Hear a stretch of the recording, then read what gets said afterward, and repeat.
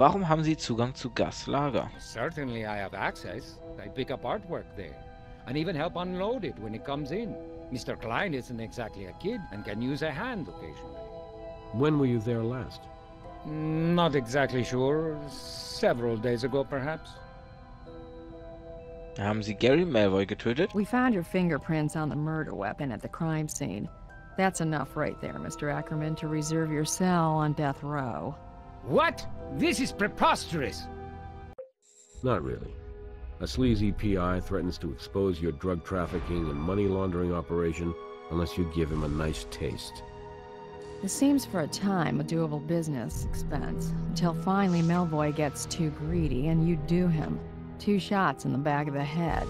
You're an old hand at creating up artwork. The statue is just leaking a little. I swear to you, I did not do this. This awful thing.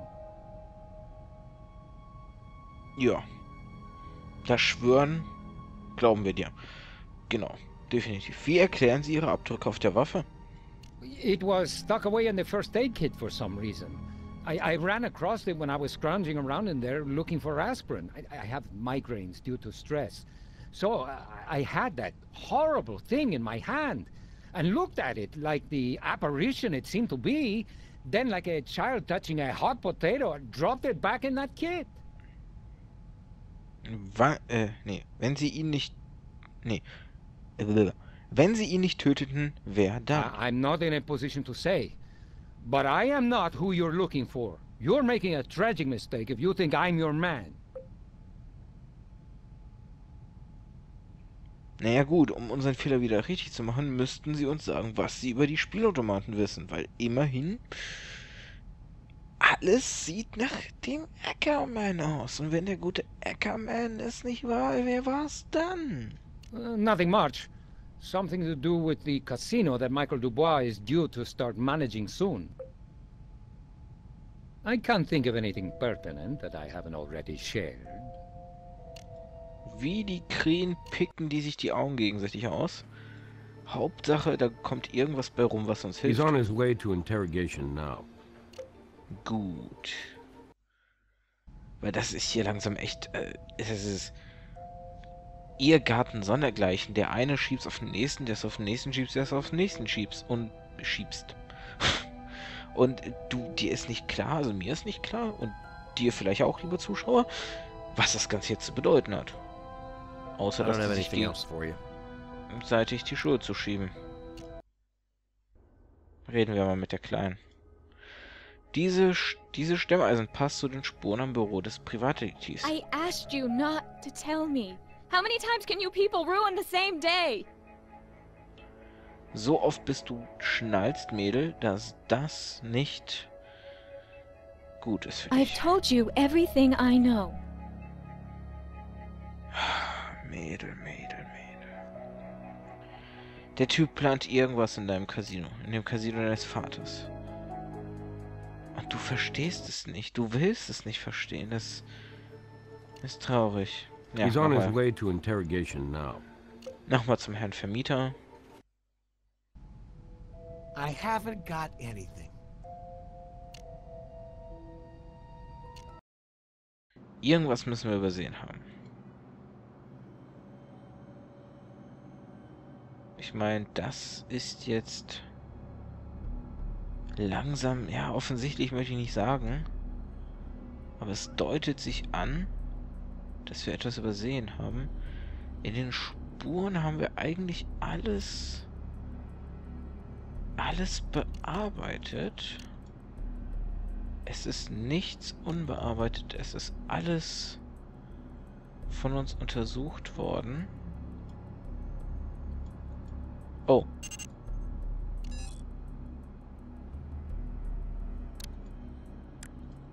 Hä?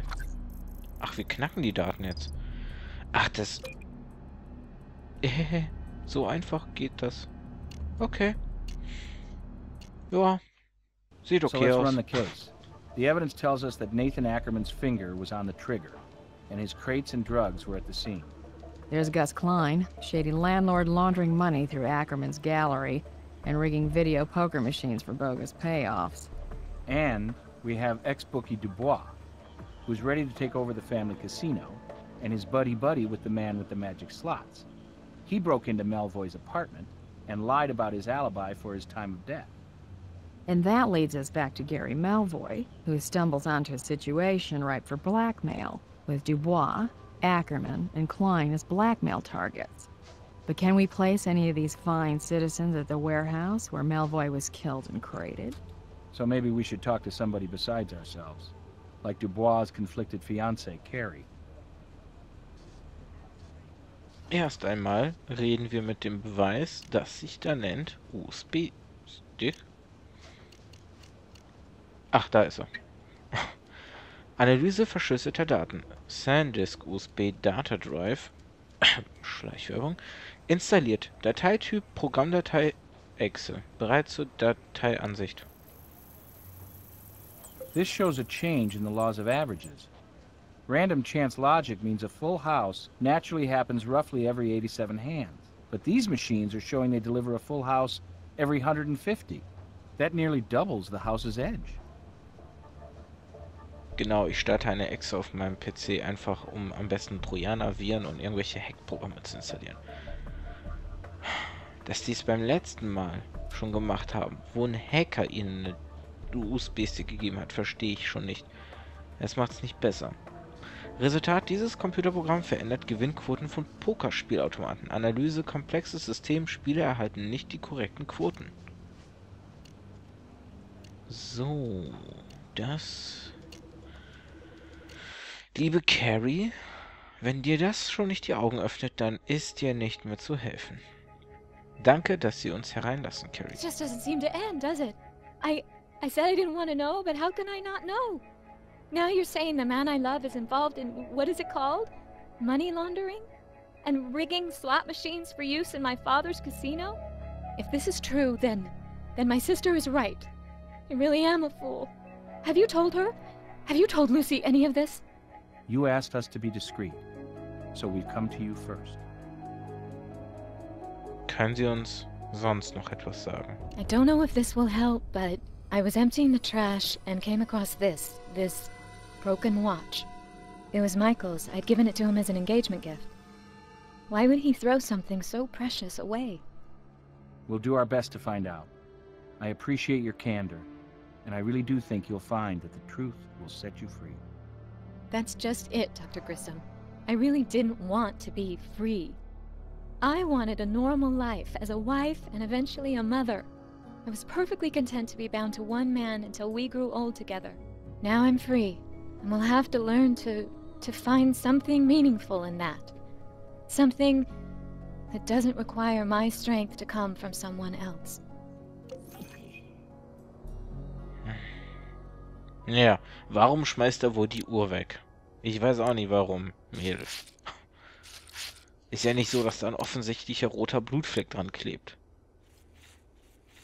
That's blood, all right, but whose? Naja, gut.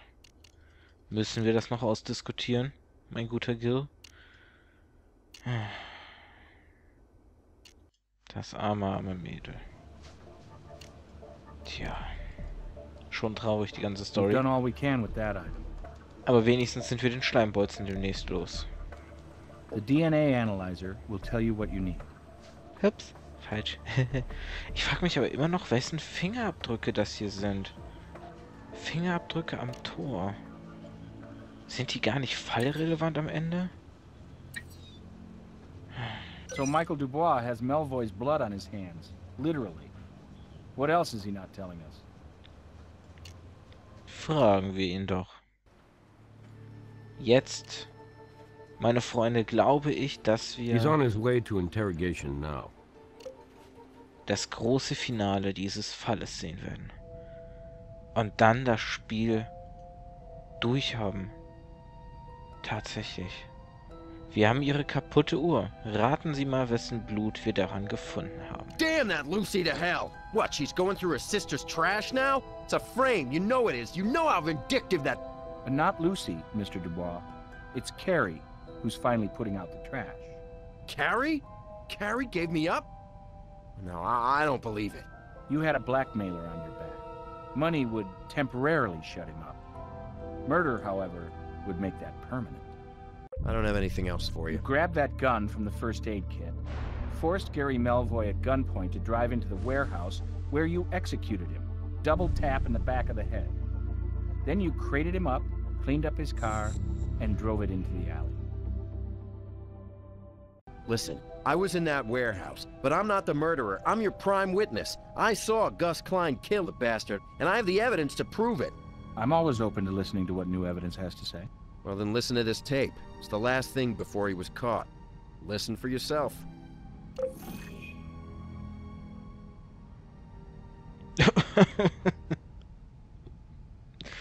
Das unsichtbare Audiotape. das habe ich mein Leben lang noch nicht gesehen, im wahrsten Sinne des Wortes. Ah, meine Güte. You know, if you weren't so damn greedy, maybe we could have done business. Could have used a man with your kind of sleazeball skills. But you don't know where to stop, do you? Money laundering, dirty slots. Sounds like a gold mine to a lowlife like you. Well, here's your part of the gold mine, the shaft. Do it, Mike. Gus, no. No, I can't kill the bastard. I don't go there, man. I'm telling you.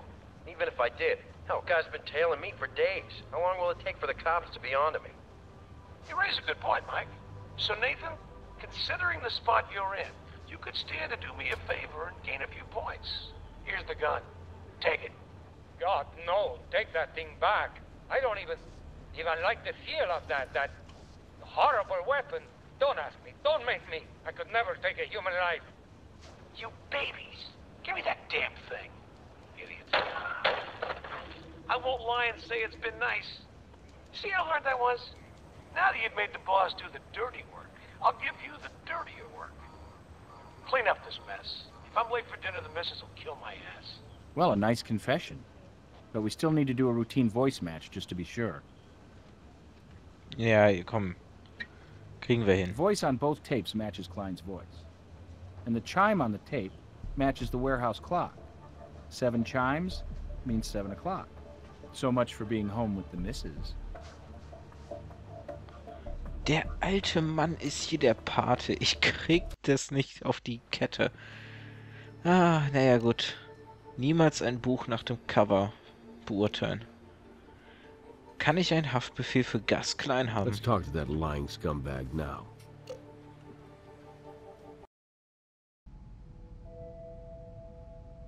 Wir wissen, dass Sie Gary Melvoy getötet haben. Oh, you do, huh?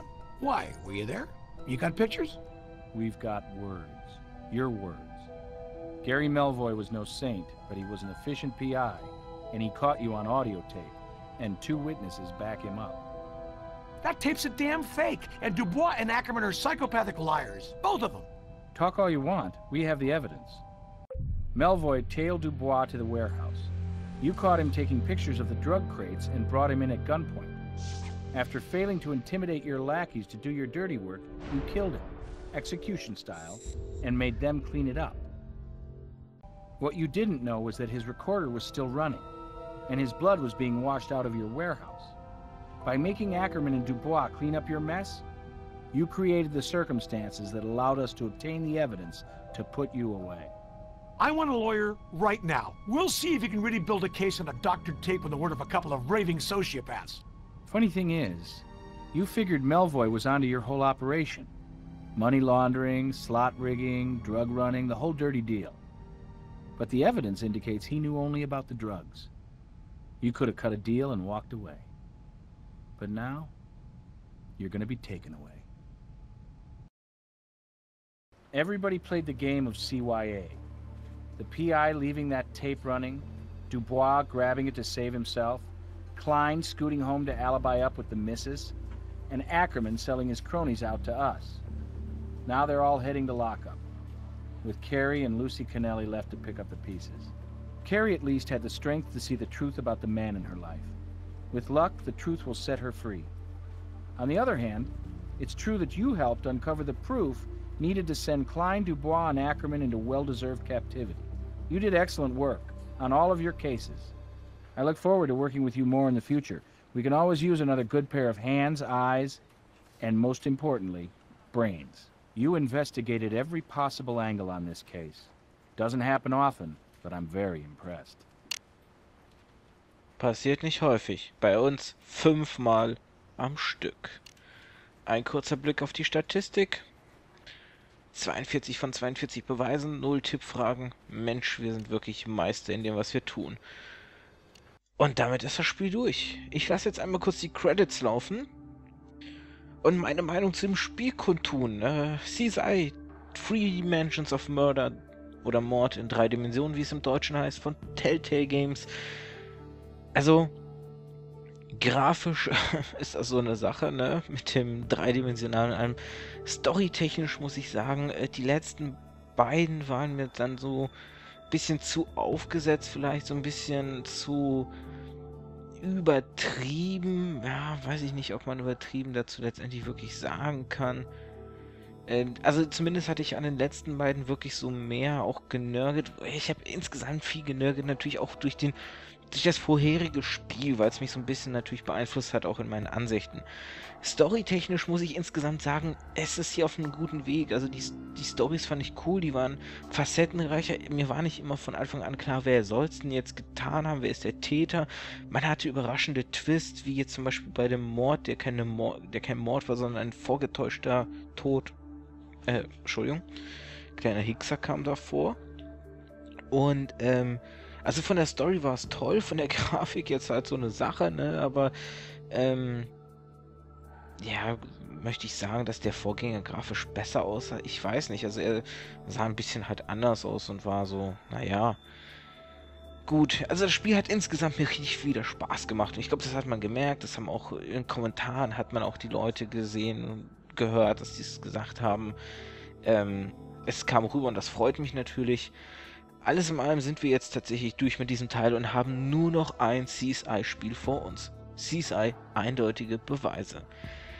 Ähm, wir werden tatsächlich aber dieses Spiel jetzt nicht direkt im Anschluss zu CSI Mord in drei Dimensionen oder so spielen. Nein, es wird ein Päuschen geben. Ähm, das liegt nicht unbedingt allein daran, dass echt sechs CSI-Spiele am Stück spielen doch ein bisschen ermüdend war und ich einfach mal was anderes brauche. Nein, es liegt auch ein bisschen daran, dass ich einfach für den Oktober Festspiele geplant hatte. Ich weiß nicht, ob beide klappen oder ob eins verzögert kommt. Ich habe ja im Oktober auch Urlaub äh, ob ich nicht den Urlaub auch nutze, um das zweite Let's Play quasi erst aufzunehmen. Dann das eine habe ich schon den Anfang schon vorbereitet, das wird pünktlich zum ersten starten, 1. Oktober. Das andere kann halt sein, dass es hier ein bisschen verzögert, weil ich möchte so ein bisschen, es sind keine Horrorspiele, aber es sind halt zum Oktober als Halloween-Monat und, und alles so thematisch passende Spiele und ich wollte sie gern, ich wollte gern letztes Jahr im Oktober, als ich ja, ja mehr oder weniger im Oktober gestartet bin, äh, schon spielen. Hat nicht geklappt. Dieses Jahr klappt es und dieses Jahr würde ich es halt gerne machen.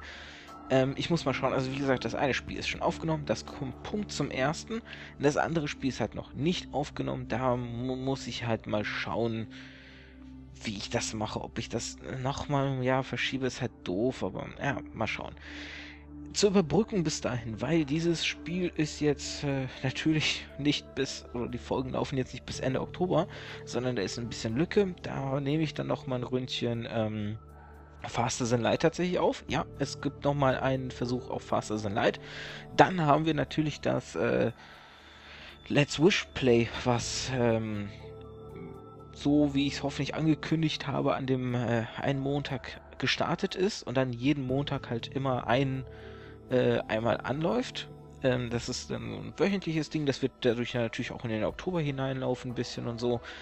Ähm, ja, das heißt, da läuft, kommt ein bisschen was, aber wie gesagt, dadurch wird natürlich äh, das letzte CSI-Spiel so in den November reinrutschen erst und im November erst kommen, als Nachfolger dann zu den Oktober, Halloween oder Hallo passend zu Halloween laufenden äh, Let's Plays und Spielen ich hoffe, das ist jetzt okay. Ich, vielleicht denke ich mal, tut mir die Pause auch gut, dass ich ein bisschen wieder Abstand zu den CSI-Spielen gewinne und dann vor allem auch nicht vielleicht wieder mit dieser ähm, Negativhaltung möchte ich nicht sagen, aber so ein bisschen habe ich ja dann auch immer sehr viel langsam angefangen zu kritisieren und war echt überhaupt nicht mehr ähm, zu begeistern und zufriedenzustellen.